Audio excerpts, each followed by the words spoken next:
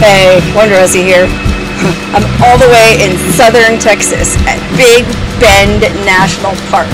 It's a national park way at the bottom of Texas, right on the Mexican border. Matter of fact, I think that's Mexico right over there.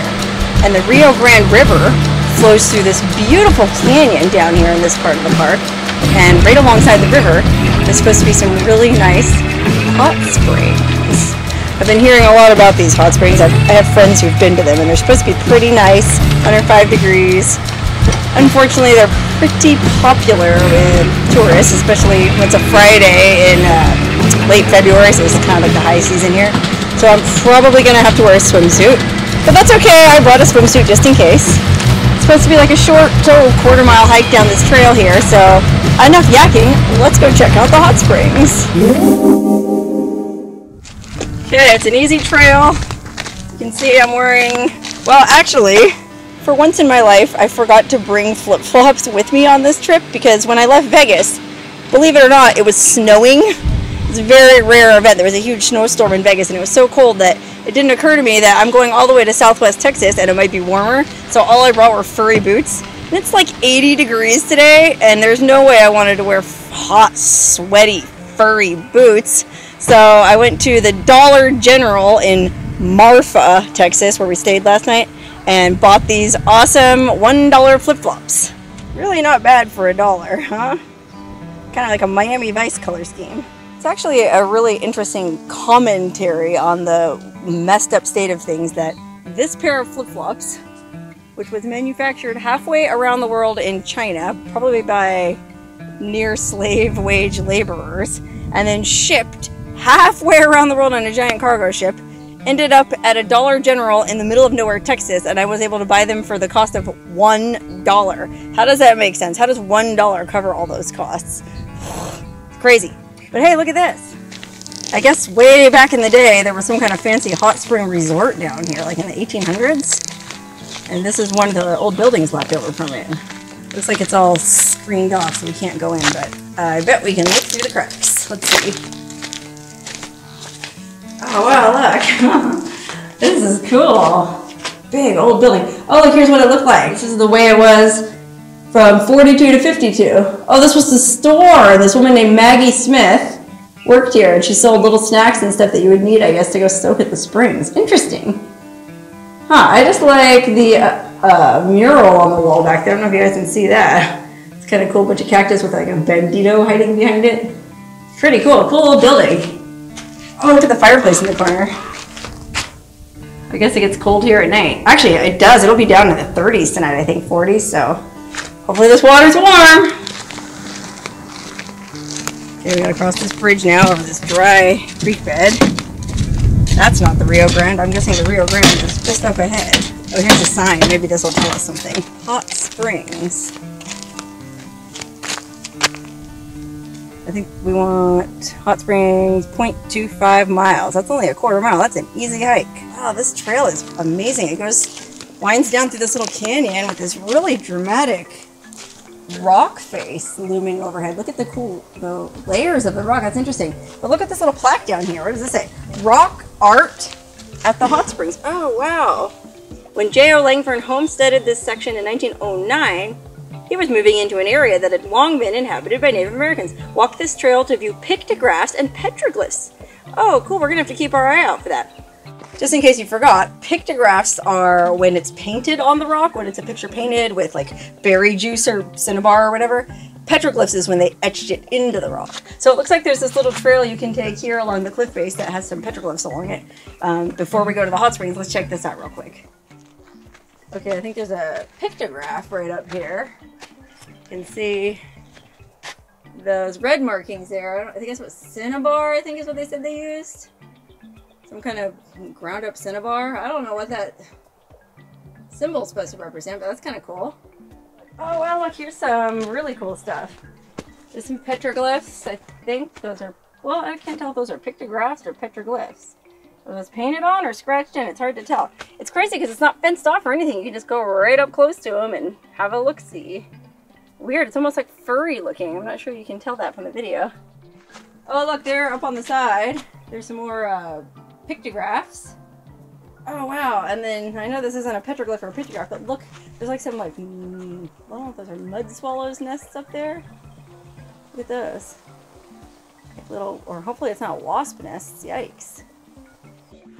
Wow, there's all kinds of cool stuff going on down at these hot springs. I like them already. I mean, I'll be honest, pulling into the parking lot on a Friday afternoon in the high season, there's all these cars and crying kids and families. but I'm sure once I get down in this Rio Grande Gorge, it's going to be so beautiful, it'll all be worth it. Okay, so straight ahead is the trail to the hot spring. Off to the right, oh wow, we can see the Rio Grande River there. Look at that. There's this really cool giant friggin' grove of palm trees with this little picnic table, a couple picnic tables. They have a nice shady place to hang out and have lunch. But you can see the river through the bushes there. That's the mighty Rio Grande. That's the border, you guys. Look, there's one more thing I noticed over here by this old ruins of this resort. What on God's green earth is this? Oh, they're for sale. It's like little bead art that somebody just left out here with price tags on it. But who's minding the store? How who am I supposed to pay for this stuff? Look how cool these peacocks are. Ten bucks. Where are you supposed to leave the money? Oh, there's a jar. Oh wow, it's the honor system. Far out. You just if you want to buy one, you take it with you and just leave money in that little jar. That's crazy. It's funny because at the parking area there was a sign saying that thefts were known to occur, so don't leave your valuables in the car. Uh, so if there's a history of thievery here, I find it especially astonishing that this these bead things are being sold on the honor system. Interesting, unless the person who's selling the bead things is the one who's breaking into cars. Look at all these awesome desert wildflowers. Sorry about my shadow. But all the purple ones, yellow ones, white ones. It's crazy because it's such a harsh, arid landscape. And then you see these little pops of color. It's really pretty. My friend hiking ahead. We came all the way out here just to go to these hot springs. So they better be worth it. Here we are strolling right along the US-Mexico border. That's uh, Mexico over there. And here we are on the US side. Like some pretty cool mountains back there in the distance on the Mexico side. And pretty cool mountains on this side too. Okay, I think we're here. I see people's clothes and stuff piled up on the riverbank. Now with all hot springs, I might not be able to take any footage because don't want to be rude to other people soaking. But I'm planning to hang out here for a few hours, so I should be able to find my opportunity at some point. But let me see if I can shoot it now. They they're supposed to be really cool right on the bank of the river. Let's see.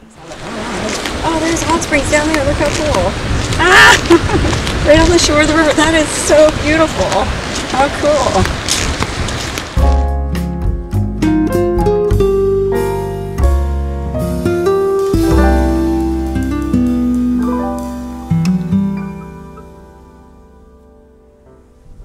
Now normally you know I prefer to soak in a hot spring naked, but it's real crowded here, it's the weekend, and it's Texas, which is a very conservative state. So when in Rome, I had to choose a very special bikini to wear in the great state of Texas. So I had to look through all my bikinis to find the one that was the most worthy of the great state of Texas. And I came up with this. What do you think?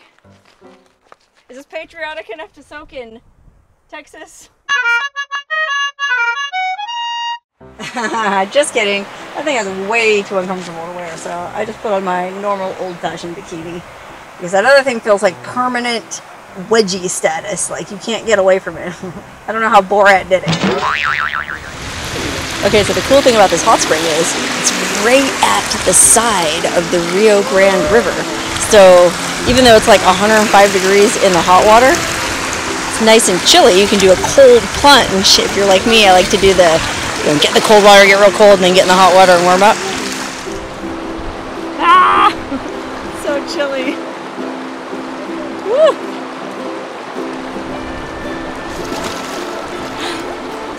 Ah! It's probably only like 50 degrees, not that cold. It's actually very refreshing.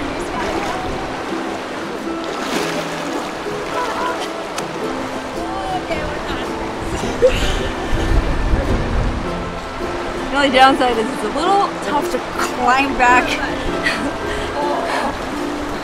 out of the river. Okay, now I'm gonna get in the hot water and see how good that feels.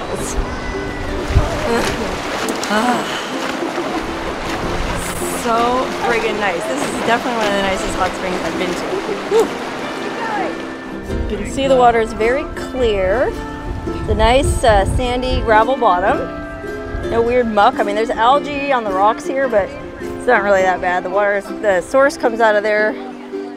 Oh gosh, uh, pretty hot, like 105 degrees, I'd say. It's very toasty. For once in my life, I'm not in a hurry. I'm planning to hang out at these hot springs all evening. So uh, when the sun finally goes down, it's uh, almost a full moon. So it should get a lot chillier and it'll be beautiful to see all the stars and the water should feel really good. So peaceful. My god, you guys, it's so dark out here, you probably can't see me, but it's way after dark. We stayed in this hot spring the whole sunset. It was so beautiful and so peaceful. And the moon just came up right over on the side of the border there. That's Mexico. The moon, moon over Mexico. it's beautiful. It's almost full. It's gonna be really hard to leave this hot spring. Oh, you're not allowed to camp here, so. But what a peaceful night. Just, it was so surreal, just soaking in this tub of hot water right on the edge of the Rio Grande. And it was the most peaceful, beautiful night. And we met some really cool people. So, do I recommend these hot springs? Yes, I do.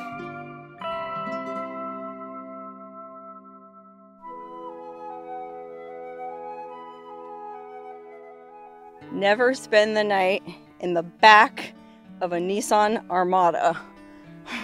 okay, this is a pretty big SUV, and the rear seats fold down. It's one of those things that has three, uh, three rows of seats. Well, they all fold down, but they don't fold down anywhere near flat. I spent a very uncomfortable night sheltered in that thing down here at Big Bend National Park. We're parked at a very lonely, hidden little nook alongside the Rio Grande River. Look at this. We actually spent all yesterday down the river that way, and we just soaked and dipped in the cold river and then went back into the hot spring. We met so many cool people, really interesting locals. Everyone had a wonderful time, and the view was beautiful. But we were all talking about when they build the wall where that's going to be because I don't know if they would build it like down the middle of the river or if they would just build it like right here on the US side of the riverbank, but that doesn't make sense because then we won't be able to see the river. So maybe they'll build it on the Mexico side of the riverbank, but then I don't know. I'm not sure. Uh, who knows where they're going to build it, but that was the hot topic in the hot spring last night. We stayed there till like, oh gosh, after midnight. The wildflowers are blooming. Texas is friggin' awesome, you guys. I'm sure those of you from Texas already know that. But that's just my two cents. Now I'm off to enjoy more of Texas. I didn't want the hot spring to be the only thing I experienced at Big Bend. So before we left, we headed over to the west side of the park to check out the beautiful Santa Elena Canyon. This is where the Rio Grande flows through a super dramatic, steep, narrow canyon, and the canyon walls create some really amazing acoustics. In fact, as I was hiking along, I thought my ears were playing tricks on me because echoing faintly from within the canyon was the sound of bagpipes.